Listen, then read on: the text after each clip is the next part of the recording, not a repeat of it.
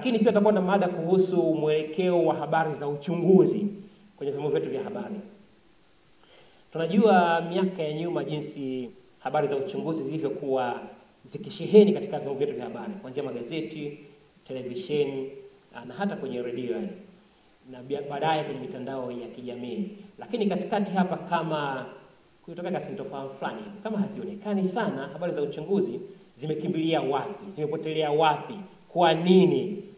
Kuna tafiti zimefanyika kuhusu habari za uchunguzi barani Afrika au hata nje ya Afrika, au uzoefu ukoje kwenye vyombo vya habari yani.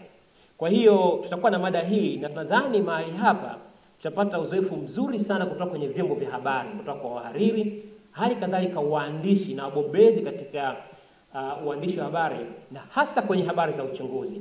Tulikuwa tuna maguru hapa habari za uchunguzi nchini Tanzania.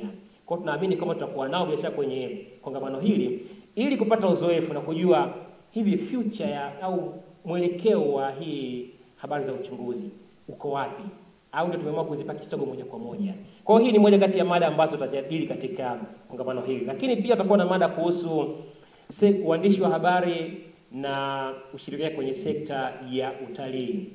Tunajua namna uh, filamu ya The Royal Tour ambavyo vyombo vya habari viliipa publicity kubwa sana na matokeo yake kuongeza idadi ya watalii Tanzania. Sasa tuna nafasi gani kama vyombo vya habari katika kuongeza utalii katika mataifa yetu ya Kiafrika?